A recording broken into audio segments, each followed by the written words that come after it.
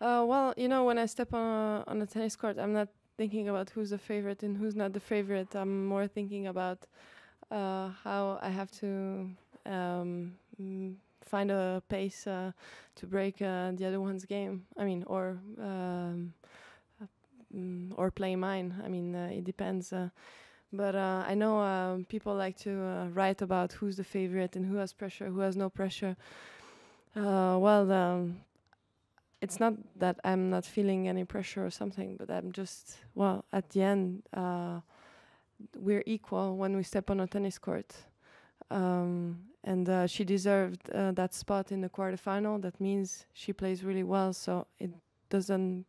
Um, for me, I, I'm not uh, feeling. I, I wasn't feeling like the favorite today, and uh, that's why uh, I just uh, well try to play my game and try like to find a solution uh, like I did before and uh, well it was a great experience and I'm happy that I found a solution today as well against her. So now being into a semi-final of a Grand Slam and against Serena, to what what what, what do you expect from this occasion? And do you think you're gonna hit any drop shot returns?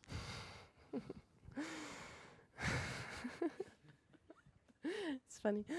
Um, well, um, uh, as I was saying, um, uh, those uh, past ten days, you know, we like you don't get to be uh, playing a semifinal of a Grand Slam every day. So I really just will appreciate the moment uh, of what I did today and uh, slowly start to focus uh, today evening uh, on tomorrow's match. But she's definitely a great champion and um, having uh, 19 uh, Grand Slam trophies, uh, well, that shows uh, that uh, yeah, she she plays uh, quite well.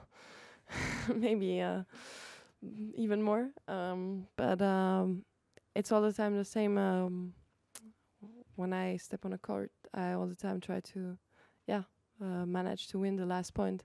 Um, for me, it doesn't matter uh, who I'm uh, who I'm gonna be playing against. I'm just want to, uh, yeah, um, have one or two or three tactics and uh, try to put them uh, in the game. And well, if it happens to work, then I'm really happy. And if it doesn't happen to work, then uh, well, uh, it's easy. You go back and you work and uh, you try to be stronger for the next match.